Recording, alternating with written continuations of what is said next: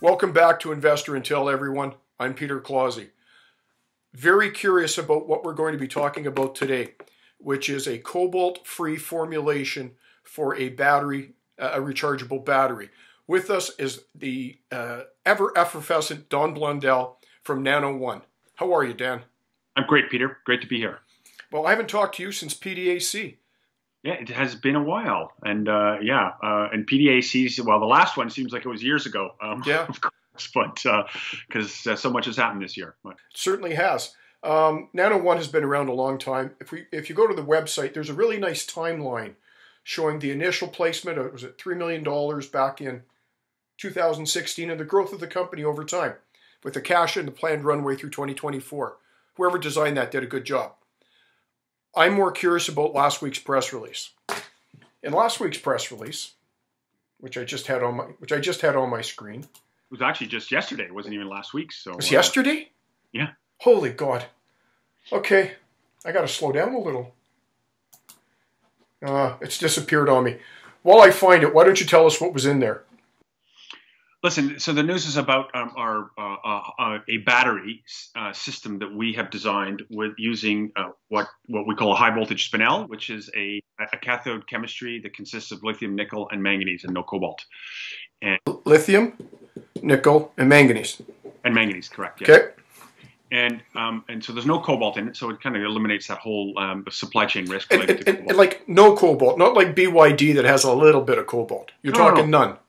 No, none at all. And and and um, I, and I should probably make sure that people understand that it's it's a totally different um, uh, uh, uh, crystal um, uh, formation in that in that material. So that you know the, all the other stuff where they got low cobalt NCA, what people are putting into it, like what's in a Tesla car, going to 811, all that stuff is a is, is a crystal that has a whole bunch of layers of nickel, manganese, and cobalt, and then layers of lithium um, very energy dense uh, material, um, but um, is uh, the more cobalt you take out of it, the more unstable it gets. The, the, the high voltage spinel, which is the stuff we announced this week in, in a battery, is entirely different structure. So it's a three-dimensional structure, like let's say, like I said, a monkey bar set. So it's got it's got vertical structures all over the place and horizontal ones, and lithium fits in the middle. You can pull lithium in and out without the structure collapsing or doing anything, and the nickel the nickel and manganese are actually uh, uh, quite stable. So so uh, you don't need cobalt in that in that kind of battery material. Um, however, it, it, runs at a very high voltage and and has uh, had been that's been a yeah that's that's its impediment really is is at those voltages the electrolytes and and anodes that go into batteries typically fail very very early within a couple cycles.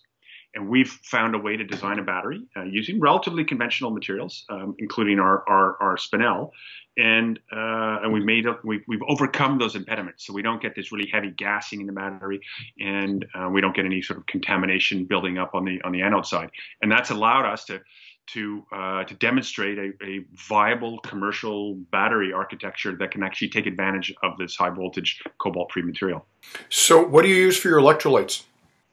It's just a it's a conventional electrolyte, and that's that's part of the uh, it's part of our intellectual property, of course. You know the design of it, and, and uh, at this point, it's not public public information. But so whenever I talk about batteries, I tell people who, who don't know there are only five parts to a battery: cathode, anode, a circuit linking them, electrolytes in the middle, and something to hold it all together. And then when I'm done, it always looks like a happy face. Ah, yeah, okay. Right. So you're talking about doing work on the cathode. That is correct. Yes. Are you doing work on the anode? Um, so, so we're not, yeah, we're not doing work on the anode. Although, when we do, when we build test batteries, of course, we have to do put all the pieces together, and we ch- typically will, uh, we aim for for uh, conventional materials because we're not, we don't want to add complexity on any other components, and and we have found in that process a way to make these, uh, uh, make a battery work at 4.7 volts um, without the gassing and contamination issues that would be normally associated with that. And this material happens to operate in that range, and that's the, that's the key thing. What kind of battery are we talking about? Like I've got the Samsung A20. I'm working on a Mac here. I've got my other laptop over there. The guy down the street has an electric vehicle. Which one of those uses your anode, your cathode? Well, none of your neighbors um, uh, uh, devices uses our cathode, um, obviously, but the, the technology is intended for all of the above. It doesn't really matter. Um, a high voltage spinel um, is a is a cathode material that could go in, into consumer electronics. It could go into power tools. It could go into uh, uh, energy storage stuff, and and and of course uh, electric vehicles. So it, it, it's a cathode that has um, has benefits for all of those applications. Its strength um, uh, you know, every cathode material, every different chemistry has its strengths and weaknesses. Some of them are good at power, some of them are good at, at, um, at safety, some of them last longer, um, some of them are denser. It's a, it's it's a and, and that, yeah, there's there's that classic five point matrix we all see. Yeah, yeah, and and, and the, none of them are all of the above um, the, the, the, the, materials that are going into uh, an electric vehicle today are typically these energy dense NMC materials. Everyone's trying to thrift out the cobalt, but you reach a point of diminishing returns from a stability point of view. And we've got technology on that side we're working on as well. Um, the uh, the um, uh, the high voltage spinel is, is unique in that it operates at a, at a, at a high voltage. It doesn't have the same capacity as these NMC materials, but the voltage compensates for that and gives you gives you back the power. So you end up running it at a higher voltage and a lower current, and that means it runs more efficient, there's less heat buildup, um, and it's just a, overall a more efficient uh, efficient battery. And because it's dominantly manganese with a little bit of nickel sprinkled in, it um, it's cheap, and it and it's a better supply chain. It's a better supply chain, and because the the um, inherently the the the the, uh, the power is is is nearly as good as NMC uh, because of the voltage range. You end up getting a very good dollar per kilowatt hour um, uh, uh, end product out of it. So are, are you so are you looking to license the technology to other people, sit back and collect your dividend checks, or do you want to be a manufacturer of the batteries yourself? So, so we are a licensing strategy. So our, our technology, our, our, our, our strategy is to develop the processes for making these cathode materials, the cathode materials themselves, batteries that use the cathode materials wherever we can, and then and license that technology or or joint venture with with uh, with partners on manufacturing. Look, our DNA is in is in uh, process innovation. Really, that's where it's all at. And and and we and look, we have innovations, you know, at, at, the process materials and battery end of things. But the we're looking to partner with people who understand how to you know control supply chain, who have the DNA to do you know consistent manufacturing and have the have the sales channels in place. And, um, and that's kind of and that's you know, we bring the innovation to the table. They bring the sort of the, the manufacturing horsepower, and and the idea is to license and partner with those those groups. When I was flipping through the website, I saw a video discussing a recent partnership you struck. Yes. Tell me about that.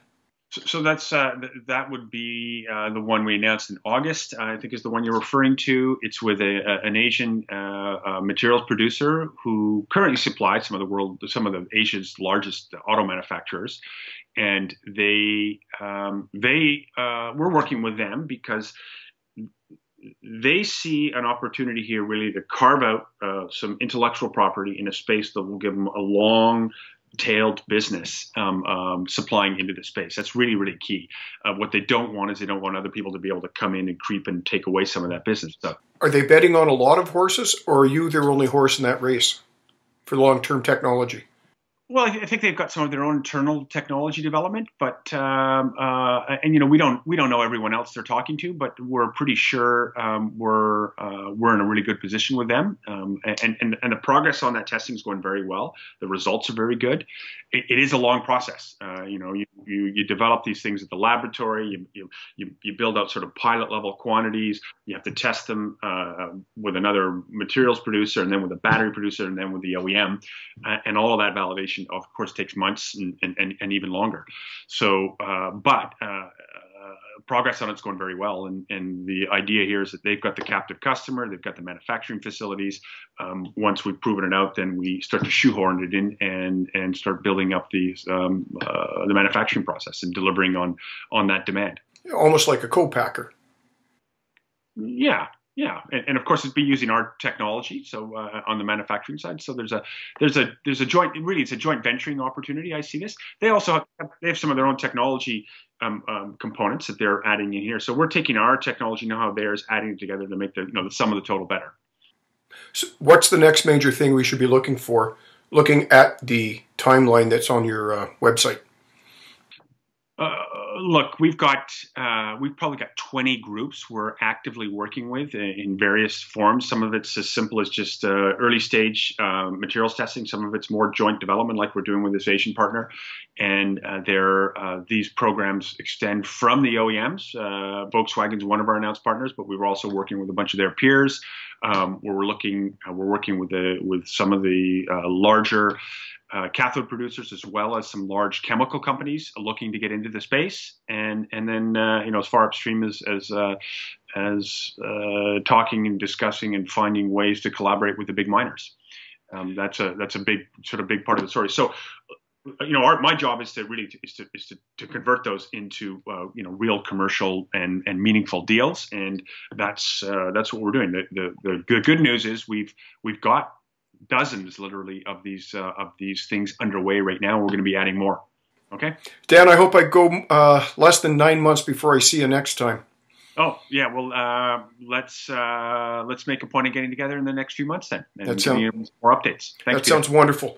Dan Blondal from Nano One. I'm Peter Clausi signing off from Investor Intel. Have a safe night.